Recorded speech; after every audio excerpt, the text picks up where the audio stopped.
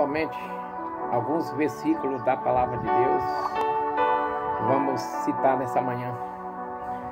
Nós vemos aqui no Salmo 27 de Davi o que o salmista define. No Salmo 27, verso 1, Davi está falando que o Senhor é a sua luz. No, ainda no Salmo 27, verso 2, Davi está confiante que quando as suas, os seus adversários lhe encontrar, ele terá força. O adversário, o salmista está confirmando que o adversário não terá força para combater com ele. E no verso 3 do mesmo capítulo 27, o salmista Davi também está tão confiante e diz que nem o exército vencerá ele. Então, isso aí é bem previsto. Por quê? Porque Davi derrubou, tem um falhadamente, não sei diretamente onde é que é, que Davi derrubou Golias com uma pedrada. Então, é isso aí.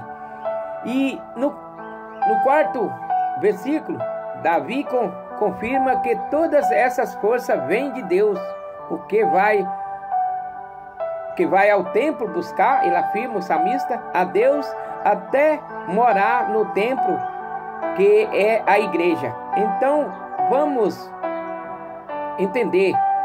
Assim, buscar a Deus, igualmente ele diz, dando exemplo, concordamos com as expressões do salmista. Mas temos que buscar a Deus nas nossas casas. Basta o que? Nós orar a Deus com fé e confiança e buscar também os dons de entendimento. Isso que nós devemos fazer.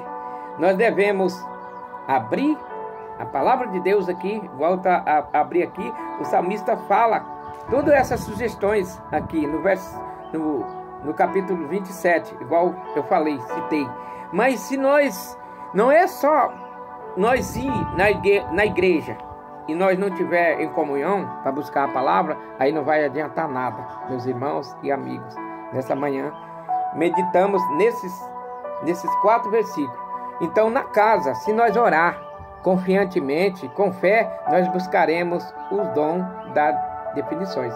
Que Deus abençoe a todos nós nessa manhã de sexta-feira.